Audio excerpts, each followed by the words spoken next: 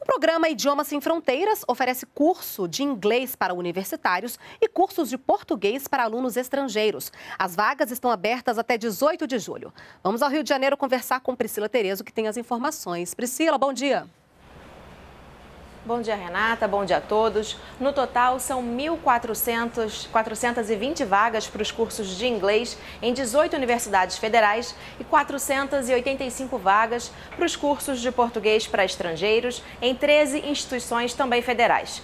Podem se candidatar no programa Idioma Sem Fronteiras os alunos de graduação e pós-graduação, técnicos e professores dessas instituições de ensino, estrangeiros que tenham CPF e vínculo com alguma universidade parceira do programa e professores de idiomas da rede pública da educação básica.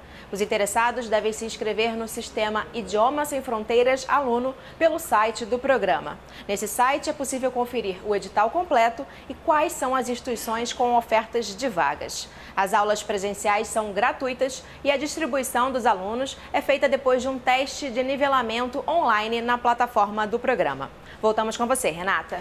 Obrigada pelas informações, Priscila.